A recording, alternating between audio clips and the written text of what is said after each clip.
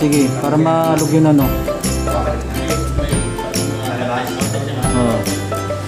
Tapos yan. Balik niyo, balik niyo ulit. Uy, teka. Parang ano. Hindi, hindi. Repair, repair.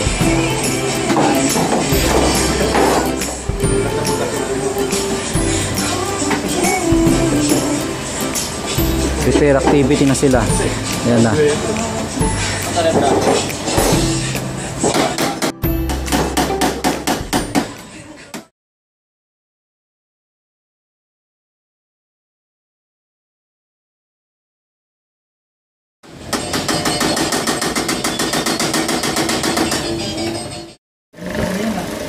Yan. Repair.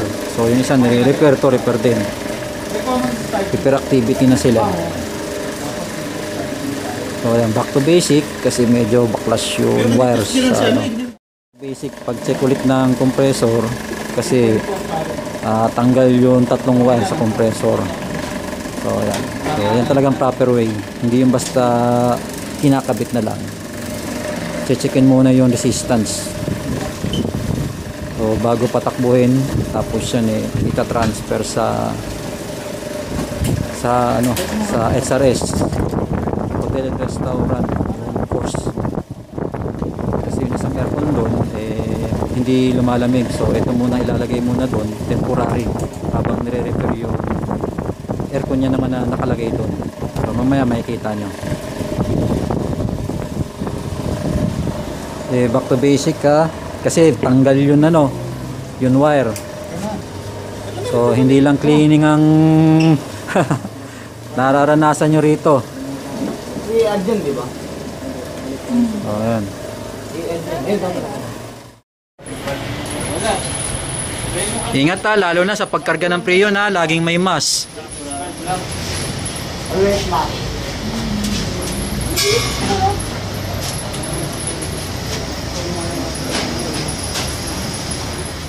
Natanggal na, natanggal na. Hindi pa rin. oh, price. Dalawa. Dalawa. Dalawa.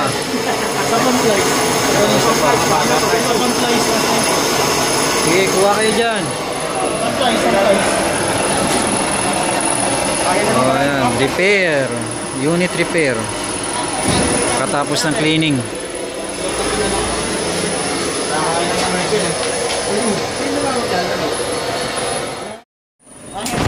Oo. Oh. Hmm. Yun. Eh. Gagawa talaga kayo ng paraan. Kasi dugtungan na lahat yan. Yan.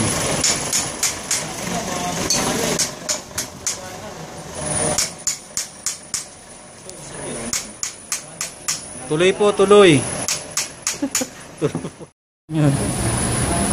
Hindi tayo yung mga narinig ko.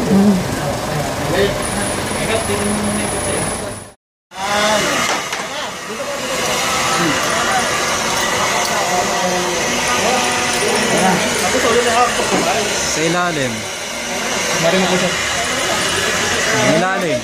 May kulugo.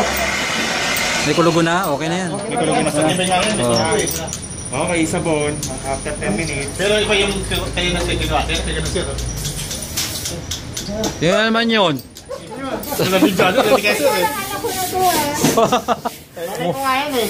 Namumuro ka ha. Oh, dito yan.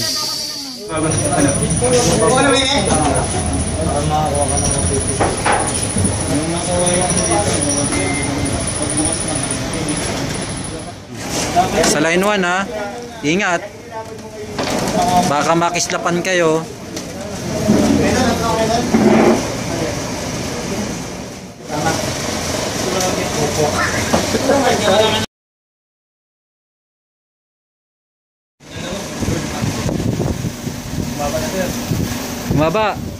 Oh, ngayon, saka ka maglagay ngayon ng ano, prion.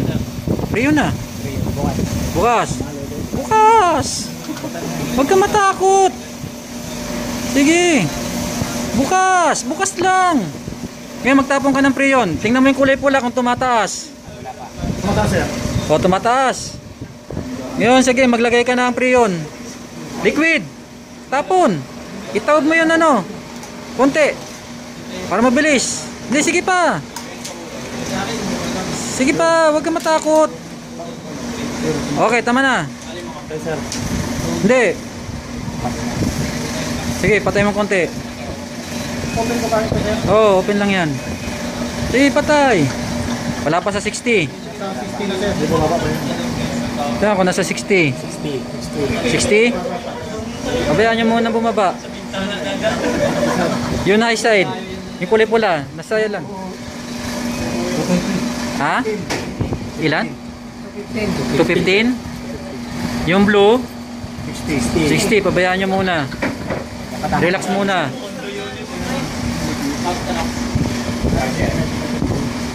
Kabubukas pa lang yan. So yung prion yan, niluluto.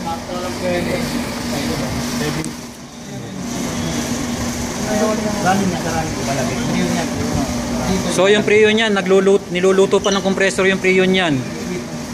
So pagka tumaas tayo dyan ng mga 330, bawas tayo ng prion dito. Sa kulay pula, sa discharge. Pag tumato sir, ito yung mag O dyan ka magbabawas. Hindi rito, hindi ka makapagbawas talaga dito ng todo. Kasi pahigop yan eh. Dito pala pa. Hmm. Dito magbabawas mga kasama. Oo. Hmm. Ay, di, nakabukas pa lang. Sarado lang yan. Bawas ka din sir. Oo, oh, dyan. Hmm. Yan, medyo malamig na oh. ha. Talaga na ang lamig ko. Sir, kahit sa portable aircon, Oh, kailangan takot chair. sa portable. Hindi naman halos lahat.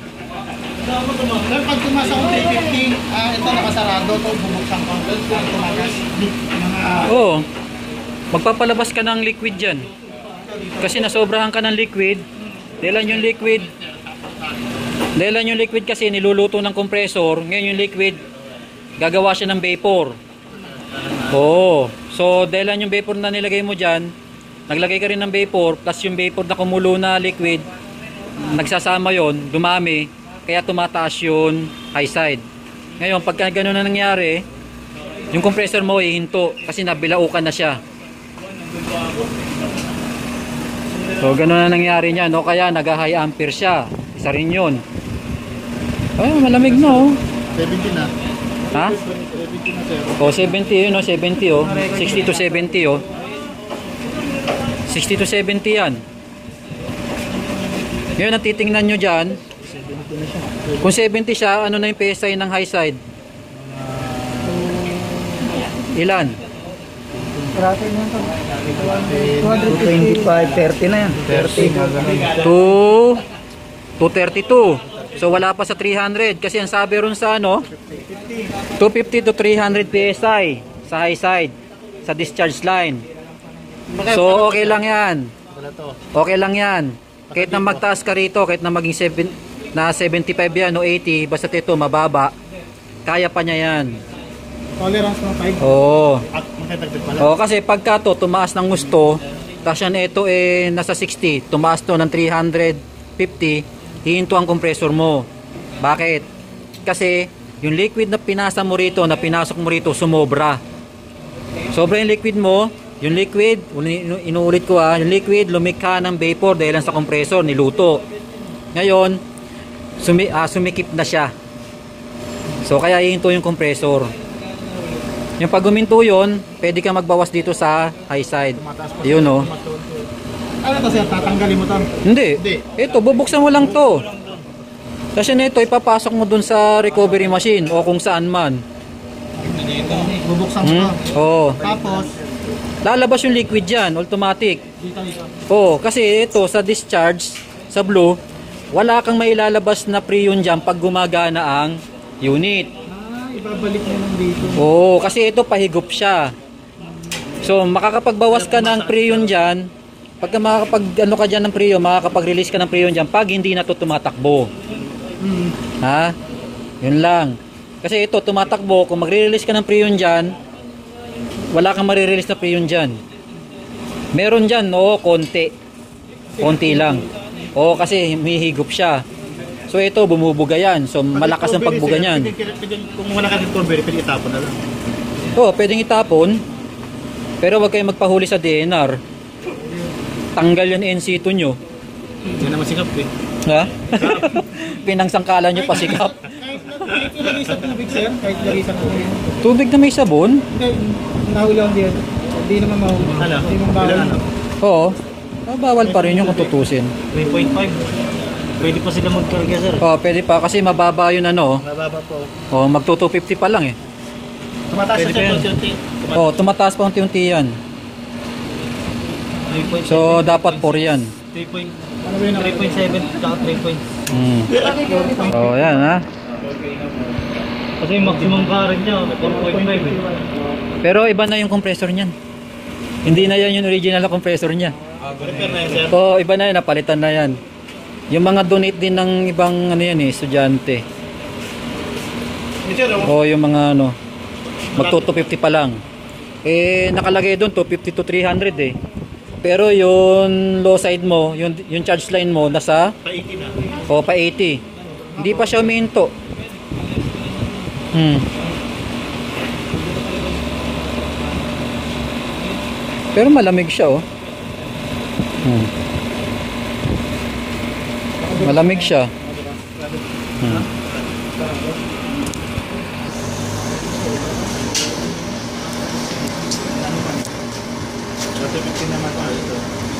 Hmm.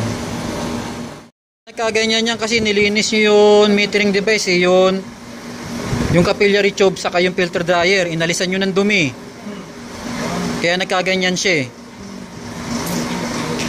Ba't siya nangyari? Ah, wala siyang lamig. Napapa ano niya yung lamig. Ah, hilaw. Pero wala siyang leak.